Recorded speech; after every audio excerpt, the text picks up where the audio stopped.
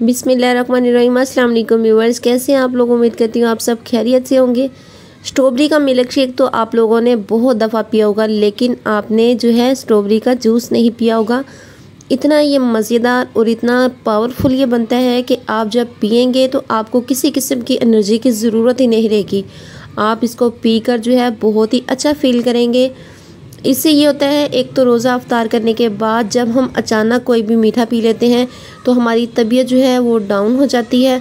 इसको आप जब पियेंगे तो इन आपकी तबीयत बिल्कुल भी ख़राब नहीं होगी। चलिए ज़बरदस्त से जूस की रेसिपी को बनाना स्टार्ट करते हैं। यहाँ पर मैंने जो है स्ट्रॉबेरी ली थी, ये देखें। माशाल्लाह से बहुत ही खूबसूरत, ये जो स्ट्रॉबेरी है लाल लाल बहुत प्यारी प्यारी थी। इसको जो है मैंने फ्रीज़ भी कर लिया था। आप भी इसको फ्रीज़ कर सकती हैं, ये बिल्कुल भी ख़राब नहीं होगी। इस तरह से ये देखें, कुछ दाने इसमें जो है वो फ्रीज़ किए हुए हैं। उसको इन सबको लेकर हमने इसमें ग्राइंडर के जग में जो है शामिल कर देना है। फिर से वही बात, वीडियो अच्छी लगे, वीडियो को लाइक कीजिए, चैनल को सब्सक्राइब कीजिए और कमेंट्स में मुझे ज़रूर बताया करें कि आपको मेरी रेसिपी कैसी लगती है। जीवस ये देखें यहाँ पर स्ट्रॉबेरी शामिल करने के बाद हम इसके अंदर जो है थ्री से फोर टेबल स्पून के करीब चीनी शामिल करेंगे। चीनी आप अपने हिसाब से कम या ज़्यादा भी कर सकते हैं और यहाँ पर मैंने काले नमक का इस्तेमाल किया है। इससे इसका फ्लेवर जो है बहुत ही ज़बरदस्त आता है। वो इसके अंदर हम शामिल कर देंगे। अब यहाँ पर मैंने लिए हैं दो गिलास पानी। वो इसके अंदर हम शामिल करके इसको अच्छे से हमने जो है ग्रैंड कर लेना है। जीवस ये देखिए, इसको हमने तकरीबन तीन से चार मिनट के लिए अच्छे से ग्रैंड करना है ये, ताकि ये बहुत ही ज़बरदस्त तरीके से ग्रैंड हो जाए। अब यहाँ पर हमने एक बाउल में छन्नी ली है, उसके अंदर जो है हमने इसको छान लेना है, ये देखें, ताकि जितने भी इसके बीज वगैरह बारीक बारीक से होते हैं, वो सारे एक साइड पर निकल आएँ। बहुत ही आसान रेसिपी है और ये बहुत ही ज़बरदस्त तैयार होती है। अल्हम्दुलिल्लाह, आप ज़रूर ट्राई करिएगा और मुझे कमेंट्स में बताइएगा कि आपको ये रेसिपी कैसी लगी है। यहाँ पर मैंने एक प्लेट में जो है जामे शीरी ली थी।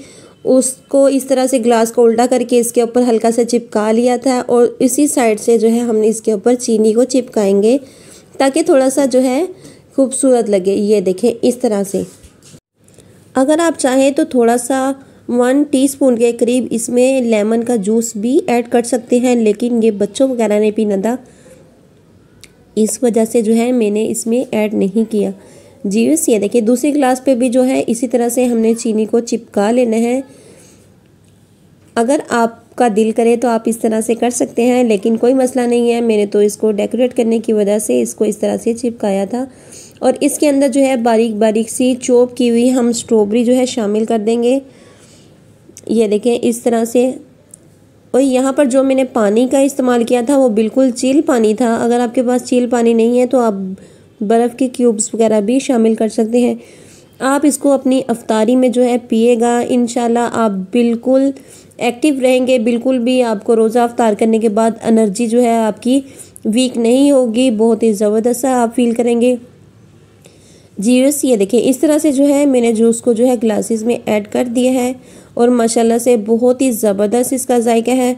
अगर आपके पास काला नमक नहीं है तो आप दूसरा घरे घर वाला वाइट नमक भी इस्तेमाल कर सकते हैं, लेकिन जो काला नमक के साथ इसका फ्लेवर आता है, वो बहुत ही ज़बरदस्त आता है। आप ट्राई ज़रूर करिएगा और मुझे बताइएगा कमेंट्स में कि आपको ये वाली जो रेसिपी है, वो कैसी लगी है। जी बस ये देखें माशाल्लाह से आज की हमारी स्ट्रॉबेरी के जूस की जो रेसिपी है, वो कंप्लीट हो चुकी है। अल्हम्दुलिल्लाह, उम्मीद करूँगी आपको पसंद आई होगी। चलती हूँ, मिलेंगे आने वाली आसान और मज़ेदार रेसिपी के साथ। दुआओं में हमेशा याद रखिएगा, अपना और अपने प्यारों का ख्याल रखिएगा। अल्लाह हाफिज़।